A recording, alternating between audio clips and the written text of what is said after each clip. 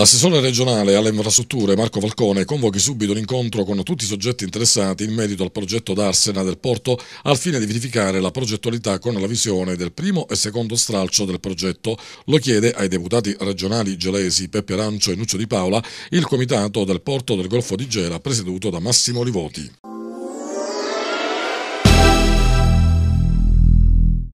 Si rinnova anche quest'anno la festa di San Giuseppe con il tradizionale allestimento delle cene in onore del Santo Patriarca. Il comune di Gela sta sponsorizzando l'evento. La venerazione a San Giuseppe non è legata solo ad un discorso devozionale, afferma Don Lino di Dio, rettore della chiesa di Sant'Agostino, ma ad un risvolto pratico che è quello della carità. Rispettando la tradizione abbiamo chiesto alle famiglie di non pensare solo ai tre personaggi canonici, Giuseppe, Maria e Gesù, ma devolvere una parte della cena ad altri poveri. Anche quest'anno la piccola Casa della Misericordia sta organizzando la cena che sarà allestita nella chiesa di San Francesco di Paola. Nei prossimi giorni saranno consegnati i pacchi alle oltre 700 famiglie che il centro assiste o a quelle che le chiederanno.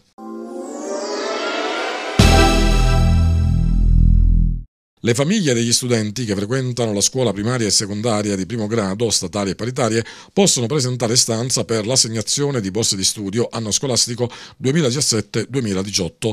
La domanda di partecipazione, assieme ai suoi legati, dovrà essere presentata entro e non oltre il 16 aprile ed esclusivamente presso l'istituzione scolastica frequentata dallo studente. Al beneficio possono accedere i genitori o altri soggetti che rappresentano il minore appartenenti a famiglie in possesso di un indicatore della situazione economica equivalente ISEE non superiore a 10.632,94 euro. I modelli di domanda vanno ritirati presso l'istituzione scolastica frequentata dallo studente o scaricati dal sito del comune di Gela.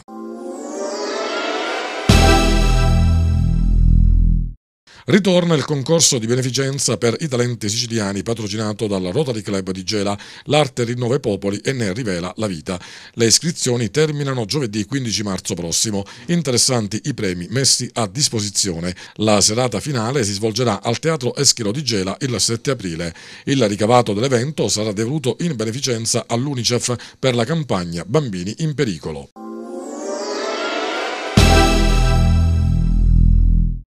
Si correrà domenica 18 marzo dalle 9 sul lungomare Federico II di Svevia a Gela il quattordicesimo Memorial Salvatore Zuppardo di ciclismo, seconda prova Criterium di primavera, prevista una massiccia partecipazione. In gara le categorie debuttanti, veterani 1 e 2, gentleman 1 e 2, super gentleman A e B, cadetti, junior e senior 1 e 2. Il percorso, circa 17 giri, la prima batteria e 20 la seconda, è il seguente. Si partirà dal Bar Svevia e si percorrerà la via dell'Acropoli Acropoli, via Mare, il lungomare Federico II, via Fiume, per ritornare alla via dell'Acropoli.